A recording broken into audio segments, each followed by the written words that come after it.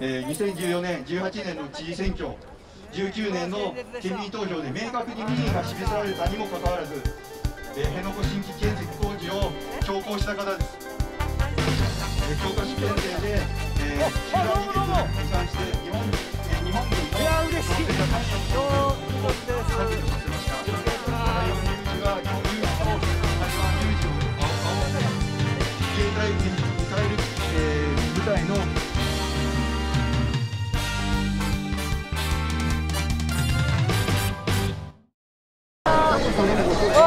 こんにちは。どうも。こんにちは。白坂と申します。ね、あ、どうもこんにちは。今日の今日、あのいらっしゃったんですねっていらっしゃってますよね。はい ここにいます。今日あのどういったお気持ちであの大石さんはここに立っていらっしゃるんでしょうか？そうですね。あの。国葬はだめだと認められないという気持ちで立っててで今、新選組全体としてはこの間被災地静岡県で台風で被災されてますし余計にこういうことやっちゃいけないだろうっていうことも皆さんに伝えたいなという思いでここにおりますしあの代表の山本太郎は今静岡県に被災地におりますので、あそうなんです。静岡に行かれてそうなんです。はい、なので、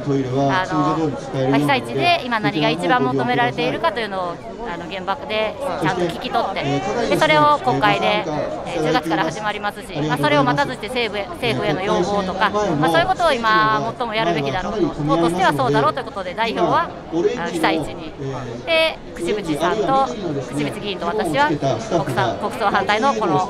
皆さんのみんなの集会に参加しようと、そういう役割分担といいますか、まあ、そういうことになっております。はい、ありがとうございます。いいですか。どこから皆さんこんにちは。たくさんの皆さん、本当に、え国葬反対の集会、抗議集会にご参集いただきましてありがとうございます。本当にお疲れ様です。令和新選組えー、私、ありがとうございます。衆議院議員の串渕真理と、そして今日は一緒に大石晃子衆議院議員も参加をさせていただきました。ありがとうございます。えー、連日ですね、ここにいらっしゃる皆さんが、全国各地で集会を行い、抗議デモを行い、そして今日、この当日を迎えました。本当にこの国民の力、皆さんにまずは敬意を心から申し上げたいと思います。そしてまず私国葬の問題お話しする前にまず静岡の台風15号による豪雨で本当に深刻な被害が今現地被災者の方々が見舞われております。浸水そして断水。今一番しんどい思いをしているそうした方々の声を聞こうと実は今日我々令和新選組の代表山本太郎。代表は今この時間現地に行っております。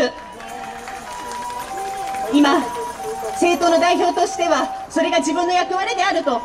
今日ここの場には来ることができませんがすいません救急車なので音を下げさせていただきます。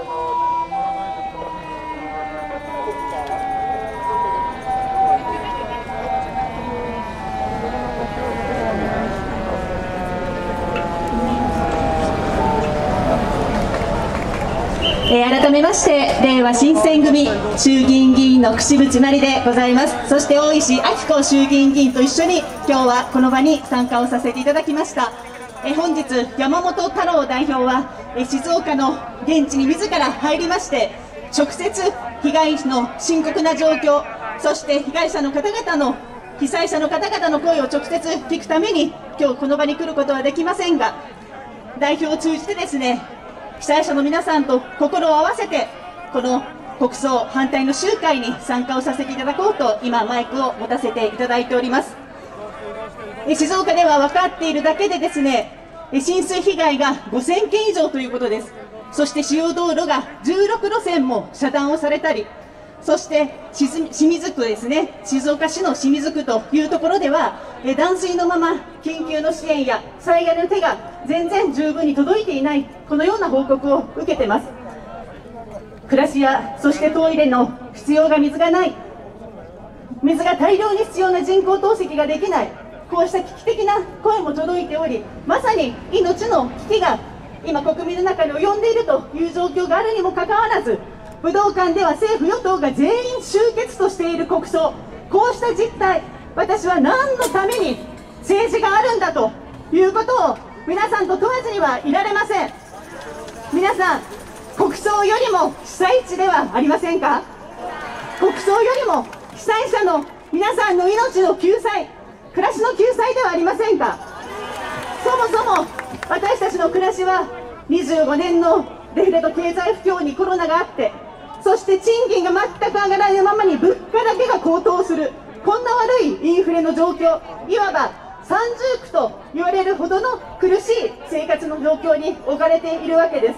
す。しかし政府はこうした状況をまるでほったらかして国会も開かない。緊急経済対策も打たない。消費税減税さえもしない。こんな状況の中で自分たちの仲間だけで閣議決定をして法的根拠のない国葬これを実行するこれを堂々と行うなんていうのはまさに常軌を逸脱した行為であり断じて認めることはできません。そもそもですね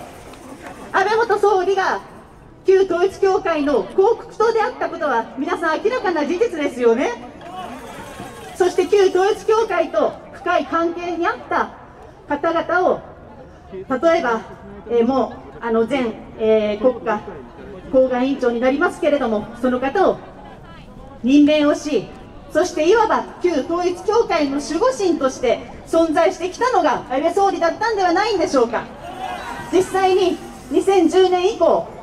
検挙された被害件数これ霊感商法にある、えー、被害件数が一度も、えー、一件もですね検挙されてないというような事実も報道されています。そして森掛桜、え、こうしたところで公文書の改ざん桜を見る会も含めて虚偽答弁が118回にも及んでまるで法を逸脱してまさに法の支配そして民主主義これを歪めてきたのが安倍総理であるというふうに言わなければなりません。まさに法の支配と民主主義この価値観を重視すると言いながら安倍総理がやってきたこと。これは法を支配してきた。法を支配してきた。それによって長期政権最長君臨した方がこの方ではなかったんでしょうか。令和新選組は、えー、この法の支配とそして民主主義をしっかりと取り戻してそしてどこまでも一番しんどい思いをして生きづらさそして苦しさを抱えている皆さんと地域に寄り添ってまもなく始まります国会審議で最大限現場の声を伝えここにいらっしゃる皆さんと一丸となってこの間違った政治とそして破壊されようとしている法の支配民主主義これを断固守り守り抜くその決意を申し上げご挨拶といたします。皆さん断固として頑張ってまいりましょう。国葬よりも被災地です。ありがとうございました。ありがとうございました。